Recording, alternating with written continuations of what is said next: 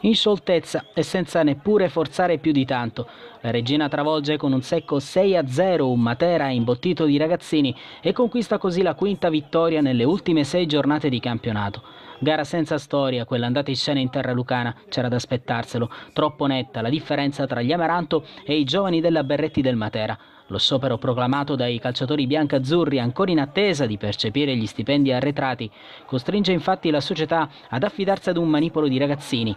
Ne viene fuori un match impari. Al Matera non basta infatti la buona volontà. I padroni di casa resistono 35 minuti appena, poi crollano. A dare la prima spallata al muro biancazzurro è Ungaro e lui ad aprire le danze per l'ex Renate e il secondo gol in questo campionato. Per il Matera invece è l'inizio della fine.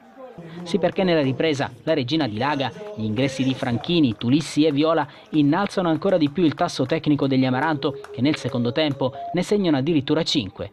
Protagonista assoluto è Alessio Viola e suo il gol del 2-0. Ed è sempre Viola a siglare il 3-0 al minuto 65. Nel finale c'è spazio anche per il gol di Bonetto, sul 4-0 la Regina continua a spingere e in pieno recupero arrivano i gol di Tulissi e del solito Viola, autore di una tripletta per l'attaccante di Nova. Sono le prime reti stagionali.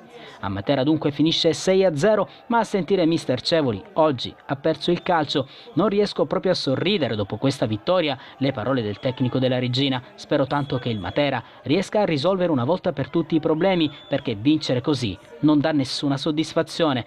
Difficile dargli torto. Ribadisco il punteggio allora. Regina batte Matera 6-0. Grazie a questa vittoria gli Amaranto volano al settimo posto a quota 26 in piena zona playoff.